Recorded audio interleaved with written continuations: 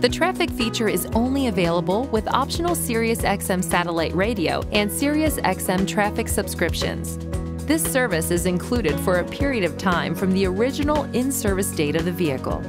Use this feature to show traffic events such as accidents, construction, heavy traffic, and other factors that may affect the route ahead, and the system will guide you to the alternate route. To access traffic information, press the Apps button on the control panel. Then touch SiriusXM Traffic. To adjust the settings for the traffic feature, press the Apps button on the control panel. Touch Settings, then touch Traffic. Touch Dynamic Guidance to switch between. Off to turn off the traffic feature.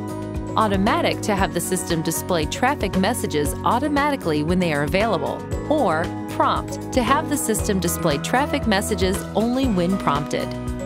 Other traffic settings can be set to on or off by touching the corresponding key on the screen.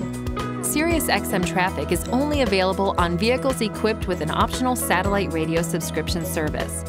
Multiple subscriptions may be necessary to activate the various features. For full details on SiriusXM traffic, visit www.siriusxm.com slash SiriusXMTraffic please see your navigation system owner's manual for important safety information, system limitations, and additional operating information.